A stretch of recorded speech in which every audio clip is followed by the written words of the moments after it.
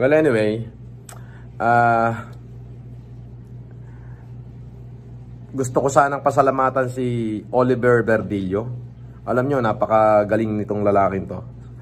Ah, namigay ho ng manok, bigas, may kasama pa hong pera doon sa kanya second batch. Isang buong manok, limang kilong bigas, groceries, at may 100 pesos pa na pambili ng rekado. Ah, mabuhay ka, Mr. Verdillo. Uh, but uh, gusto ko sanang iparating sa iyo yung aking condolence uh, sa pagkamatay ng iyong ina. However, uh, sir, ang pangalan mo'y nakaukit na sa kasaysayan sa puso ng bawat mamamayan ng San Manuel.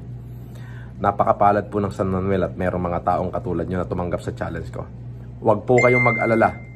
Yang inumpisahan nyo, tatapusin ko yan. Tatapusin natin yan. Maraming maraming salamat po sa inyo. Panoorin nyo yung video ni, ni Oliver. Ah, nandito po tayo ngayon sa District 4, San Manuel. Magandang hapon po.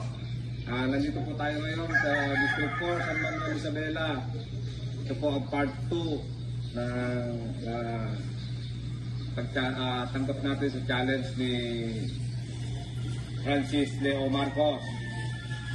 Ah, magbibigay po tayo ulit dito ng kaunting tulong sa ating mga kababayan. Uh, dito po ako lumaki, dito po ako nagkaisip. Uh, namiluhon lang po tayo sa pinanggalingan natin.